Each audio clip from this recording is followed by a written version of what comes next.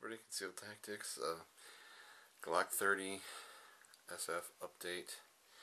Um, it's pretty much the way I like it now. Um,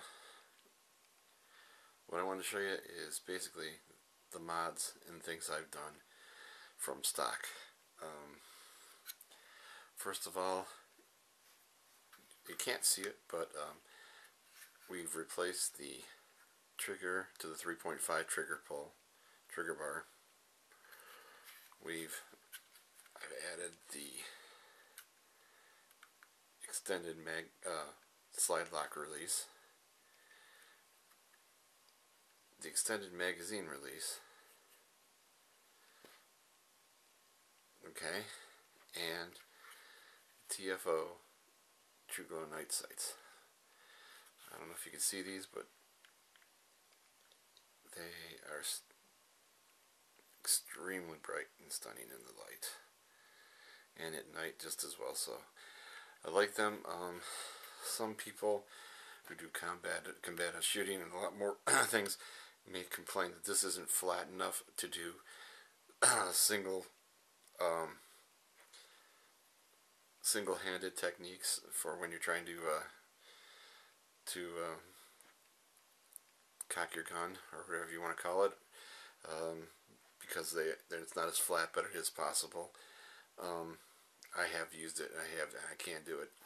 I just don't do it regularly. I even though they are work guns and I use them regularly I try not to abuse them too much just to practice the single-handed stuff but I do do it once in a while.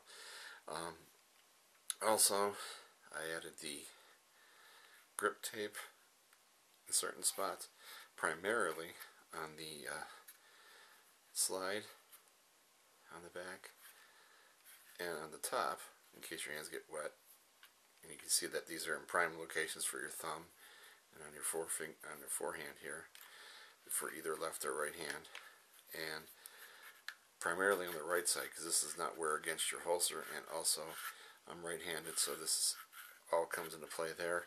I do have one piece for my thumb on the right hand side it will work for my left, so if in case I have to do shoot with my left, but this saves a little bit of holster wear because this is like that skateboard tape kind of stuff. So it is pretty rough and aggressive. If you do have a holster that rubs against your skin, it will be aggressive. Um, so this is again uh, sort of an update. Everybody was sort of asking how I'm liking the Glock 30 SF. This is now pretty much complete. I'm not going to be doing anything else to it as far as I know. Um, again, so 3 pound, 3.5 pound trigger pull uh, bar. I added the extended tabs, the extended mag release, and the TFO night sights, and the uh, grip tape. And that's about it. That's as far as this thing will go. But uh, that's just an update. And again, these are beautiful sights if you ever get a chance to try them. They are very nice in the daytime and nighttime. They very quick. I'm trying to show you a quick target acquisition. They show up very nice. Um, so I hope that helps everybody. Uh, and uh, this is my primary carry now. I keep the 19 and the 26 as backups. And uh, so, Concealed Tactics out. Everybody, hope everybody's having a good day. Got some new things coming up shortly. Um, looking forward to spring coming here, having some good shooting, and some things happening. If we could find ammo, I've got a little bit stockpiled to do some videos. So uh, everybody, uh, in case have a good holiday.